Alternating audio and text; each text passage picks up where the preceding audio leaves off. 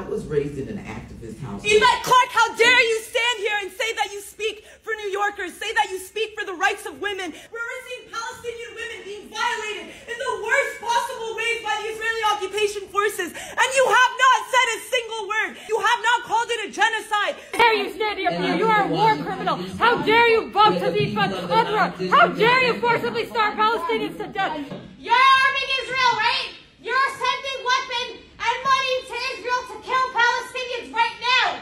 You stop UNRWA, the main organization funding education and food to Palestinians. They they have the funding for this year. That funding that was allocated before a genocide began. How could that funding ever be enough when 80% of the infrastructure has been We are destroyed? about to have to remember. a foreign government millions, billions of dollars every year, and you're okay with that. Before October 7th, you're We're still all- sending money to them. What- Yvette Clarke, you